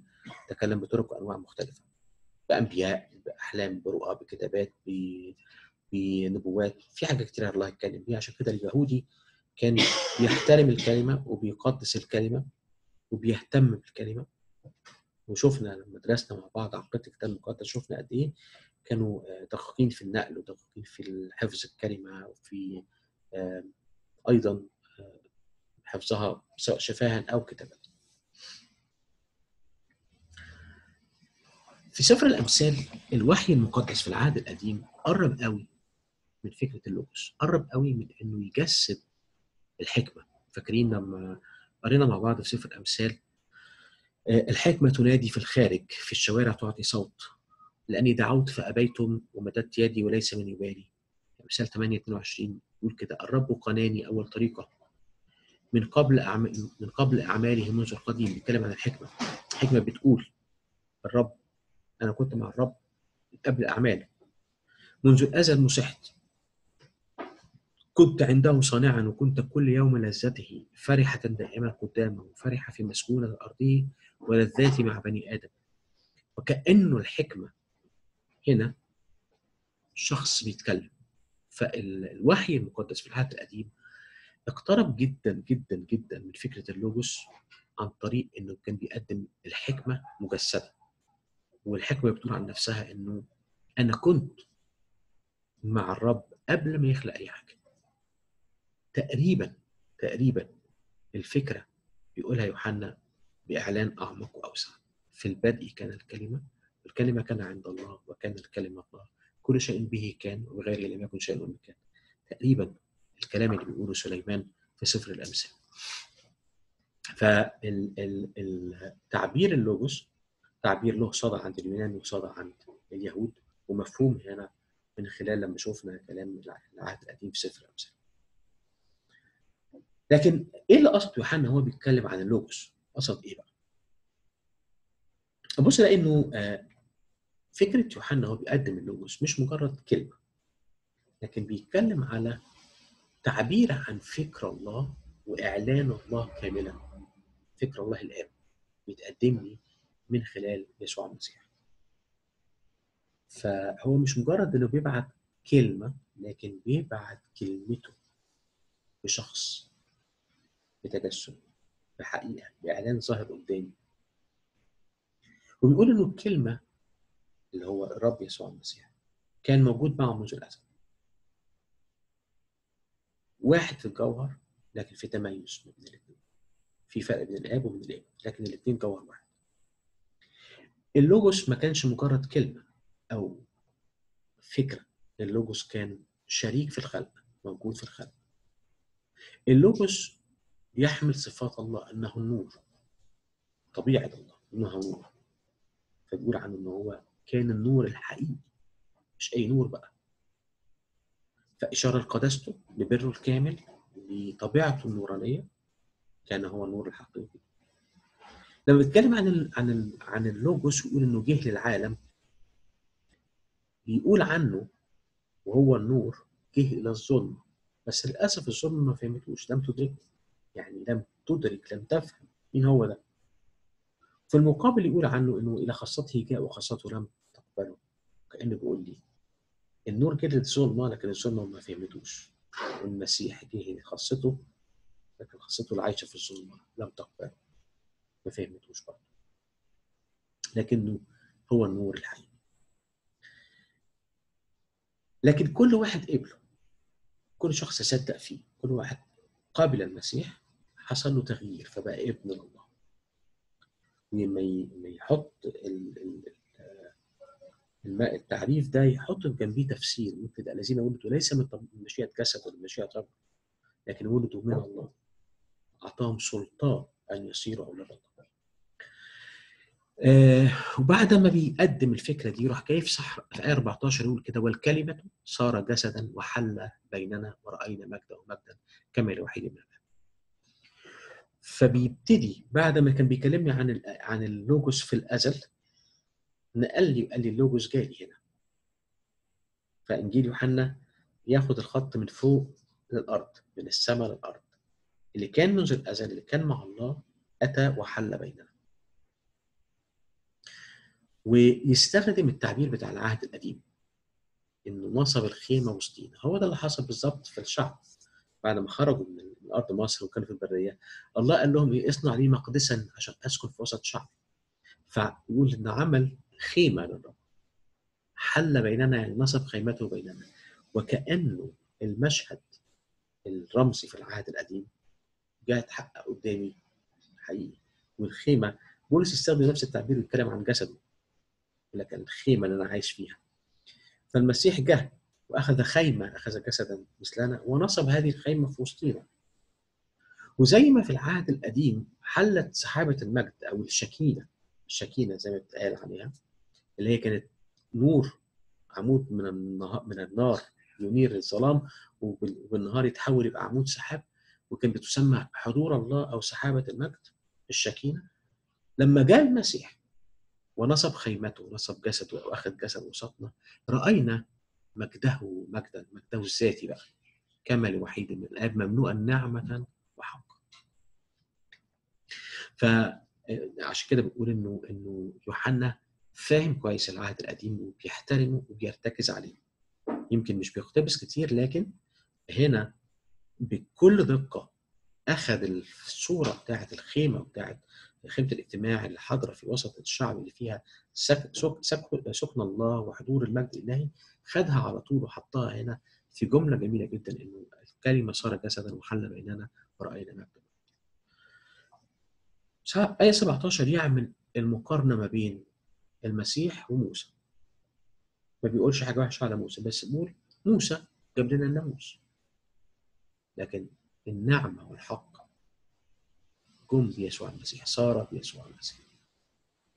فكل من يقبل إلى المسيح ينال نعمة وينال الحق وآية 18 يختم بيها الحوار الجميل ده أو المقدمة الجميلة يقول إيه؟ الله لم يره أحد قط.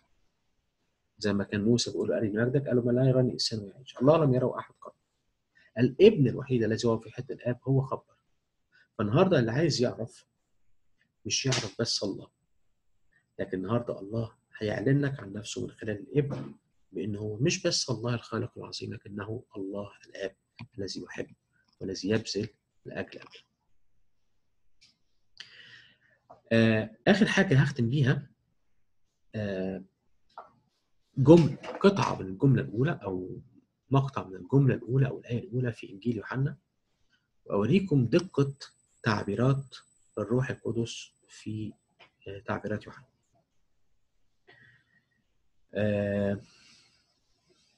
طبعا مش مش مش المفروض إنك تكون بتعرف يوناني ولا حاجة. ده ده الكلام أهو اليوناني بالاسود بتقول كده كاي ده ده نطقها كاي ثيوس إن هو لوجوس. مفهومة مش كده؟ وكان الكلمة الله. أنا الحتة دي مهمة قوي علشان أوري لك يعني إيه دقة تعبيرات الكتاب المقدس؟ ويعني إيه الكتاب المقدس ده وحي لفظي مش وحي معاني مش وحي ربنا اداله فكرة وسابه يكتبها؟ لأنه هتشوف إنه في حرف حرف واحد هنا لو اتغير إحنا نفقد كل مسيحيتنا. ركز معايا شوف الجمال والروعة بتاعت التعبير. أول حاجة نعرف الكلمات مع بعض. الكلمة دي اسمها καί. καί معناها and و. ده حرف عطف. الكلمة دي اسمها θεός θεός يعني God الله. ἦν ده فعل to be verb to be فعل الكينونة متصرف في الماضي. was. ὁ ده حرف O وال accent اللي فوق دي بتخليه آه حط له زي H ده أداة تعريف زي ألف ولام أو the. لوجوس عارفينها اللي هي الكلمة. عندي فعل أهو إن اللي هو was أو كان. الكلمة اليوناني اللي هي بتيجي بتيجي اسم أو أو pronoun أو أو adjective آه يعني اسم أو ضمير أو آه صفة. ليها في النهاية خاتمه أو ليها طريقة في النهاية تنتهي بيها بتبين لي إذا كان ده آه فاعل أو مفعول به أو مضاف إليه أو اللي هو ال indirect object المفعول الغير مباشر. فكل في حرف في النهاية بيتحط أو في نهاية معينة تتحط في الكلمة توري لك إنه هي موقعها من الإعراب إن هي فاعل أو مفعول به أو مفعول غير مباشر أو مضاف إليه. فالحرف ده اللي هو السيجما موجود عندي في ثيوس موجود عندي في لوجوس فدلوقتي بقى عندي كأن عندي مشكلة. في عندي كلمتين يصلحوا انهم يكونوا الفاعل بتاع فاعل كان فبسأل السؤال طيب مين فيهم يكون الفاعل؟ يروح ال- ال- الجرامر أو ال- القاعدة النحوية في في اللغة اليونانية تقول لي لما يجي حرف التعريف أداة التعريف قبل واحد منهم يبقى هو ده الفاعل. يبقى هنا عندي لوجوس هو الفاعل بتاع فاعل كان. طب ثيوس إيه موقعها؟ قال لي ثيوس تعتبر النعت أو الصفة اللي هي بالإنجليزي predicate بتاع لوجوس عشان كده اخذت نفس الخاتمة بتاعته عشان تبين لي إن هي مرتبطة بيه. ده في الجرامر زي ما أقول مثلا آه، اكلت آه، أو رايت زهرة جميلة. غير لما أقول آه، مثلا آه، امتلكت بيت جميل. آه، لأنه ده بيت مذكر فالجميل بقت مذكر زهرة آه، مؤنث فالصفه بتاعتها مؤنثة فبتتبعها. فهنا ثيوس بتتبع نفس النهاية بتاع لوجوس عشان تبين لي إنه دي الصفة بتاعت الفاعل ها لوجوس دي ال... وده الفعل بتاعه اللي هو كان. يبقى هنا وكان الكلمة الله طب ليه بقى بتقول الكلام ده؟ بقول لك ليه؟ لأنه لو حصل إنك أنت تخيلت إنه ثيوس هو هو الفاعل الله هو الفاعل هيبقى عندي معلومة خطيرة جدا والله كان الكلمة تقولي تفرق أقول لك آه لأنه دي بدعة طلعت اسمها البدعة السبيليانيه بتقول إن الله اقلوم واحد مفيش تميز في الاقانيم لكنه تعامل مع ناس بثلاث أقنعة. فاقناع الآب وقناع الابن وقناع الروح القدس. لكنه شخص واحد. لو أنا مشيت كده ترجمت الكلام ده كده ما احترمتش القاعدة القاعدة النحوية إنه حرف أداة التعريف ده يخلي لوجوس هو هو الفاعل ما احترمتش ده أقع في الفخ الكبير إنه الله هو الكلمة وفي النهاية يبقى ما فيش تميز ما بين الابن والآب. طب هتقولي طب ليه بيحط ثيوس في الأول؟ كان المفروض زي ما إحنا في العربي أو في الإنجليزي نحط الفاعل والفعل وبعدين نحط الصفة في الآخر. ولكن ال- ال- اليوناني ما عندوش مشكلة في الترتيب. ما بيهتمش بالترتيب. الترتيب عنده بيخدم فكرة. ترتيب الكلام يخ... يخ... ي... يقول يعني يخدم فكرة إنك بتركز على إيه تهتم بإيه. فلما حط ثيوس في الأول صفة الألوهية إن هو الله حطها في الأول كان بيأكد وبيركز على حقيقة ألوهية المسيح. يبقى بص العبقرية بتاعته هو عمل إيه؟ خلى الفاعل بسبب حرف أداة التحريف ده مضمون. ثابت.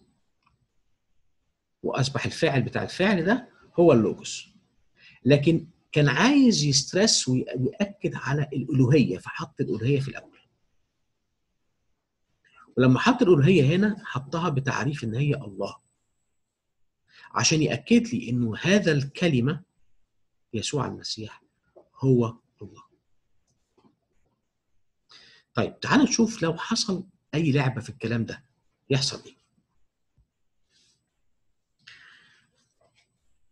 في بدعه اسمها السبيليانيه اللي قلت لكم عليها ده بترجع لواحد اسمه سيبيليوس. ده ظهر في تقريبا في القرن الثالث.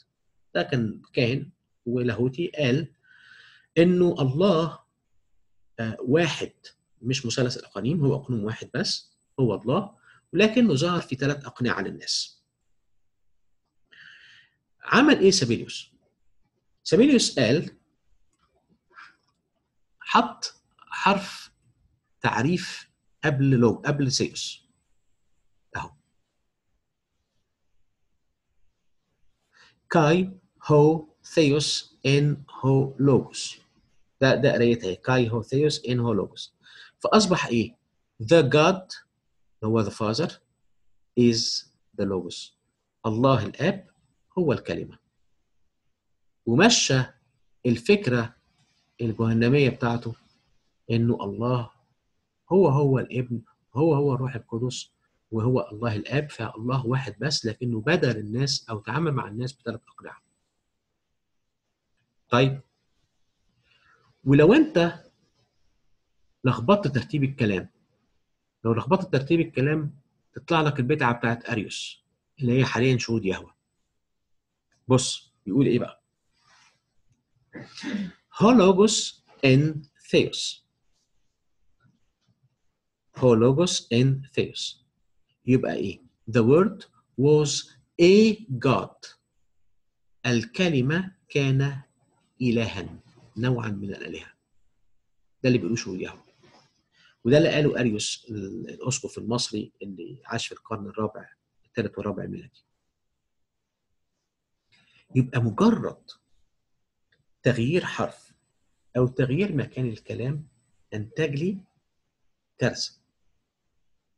واحد قال الله الآب هو الكلمة. واحد تاني قال الكلمة إلها. أي إله؟ بمجرد تغيير في المكان أو ما ظبطش وما احترمش القاعدة اللغوية بتاعت حرف واحد هو أداة التعريف. طبعا في حاجات من كده كتير قوي في الكتاب بس آه أنا بوري لك النموذج ده اللي على فكرة شهود يهوه فعليا مغيرين ال ال ال الحتة دي وحاطين الكلام ده حاطين الترتيب بالشكل ده. هولوجوس إن ثيوس الكلمة كان الها. لكن الترتيب اللي يوحنا كان حاطه والروح القدس حاطه طبعا بكل دقة في الكتاب المقدس في في إنجيل يوحنا بيأكد على الألوهية وان الفاعل هنا بتاع الفعل هو اللوجوس. يبقى اللوجوس كان الله وكان الكلمة الله. okay؟ عندي سؤال. اتفضلي. طب يعني الترجمة اللي بالعربي دي غلط. لا ترجمتنا بالعربي مش غلط ترجمتنا بالعربي صحيح لأن أنا دايما طب ليه ما بيقولش في البدء كان الله؟ لا هو بيقول في البدء كان الكلمة. طب مش هو الله هو في الأول؟ هو هنا انت أنت بتقوله؟ مش هو ده اليوناني اللي بيقوله؟ لا أنا هنا واخد واخد واخد الجزء الثالث في ال- في الايه بس هو الأصل طبعا. لا بصي. كان الله. لا هو هنا هو هنا ما هو لا في في البدء لما نروح عايزة تشوفي اليوناني بالظبط هوريهولك. خليكي معايا دقيقة واحدة. اليوناني بتاعنا بيقول إنه في البدء كان الكلمة لأنه هنا بيقدم لي بيقدم لي المسيح. بس في البدء كان كلمه ولا كان الله؟ ثانية. هو هنا بيقدم لي مش بيقدم لي الله الآب. الإنجيل بيقدم لي شخص المسيح. علشان. كده شخص المسيح مهم قوي فبيقدمه لي وبيقدمه لي إن هو إن هو الله. عشان كده بيقول عنه إنه كان موجود منذ الأزل. أوكي؟ بصي بقى مثلا معايا أنا هوري لك ال ال إحنا لما كنت بتتكلم عن الفاعل. يعني طبعا أنا مش مش مش مش هينفع إن أنا آه، كده شايفين أهو. ادي ادي ادي الجملة الأولانية. طبعا هي مش أنا مش بص ده, ده الفعل ἦν ده, ده الحرف ἐν اللي هو في في ἀρχῇ البدء. okay. ἦν was ὁ λόγος الكلمة. يعني في البدء كان الكلمة. هو كده ماشي ترجمة حرفية بالظبط. والكلمة كان عند πρὸς τὸν θεόν okay καὶ θεὸς ἦν ὁ λόγος فاللي بيقدمه هنا بكل دقة بيقول في البدء كان الكلمة والكلمة كان عند الله وكان الكلمة الله. هو هدفه هنا مش بيقول مش بيقدم لي الله في المطلق. هدفه إنه بيقدم لي المسيح. مم. اللي هو الكلمة. لأنه الصعوبة مش في الله. صعوبة الفهم هي في الشخص المسيح. كل الناس موافقة أن الله موجود منذ البدء أو يعني كل كل الموحدين بالله موافقين أن الله موجود منذ الأزل. فهو مش هيقدم حاجة جديدة لو قال الكلام ده لكن هو بيقدم شخص المسيح اللي جه في الأرض هنا بيقول عنه إن هو ده هذا هو الكلمة اللي موجود منذ الأزل واللي موجود مع الله بس اوعى تكون فاكر إن أنا بتكلم على اثنين مختلفين. لكن هذا هو الله. هو هو له نفس الجوهر. لكن في تميز ما بين الآب وما بين الابن okay؟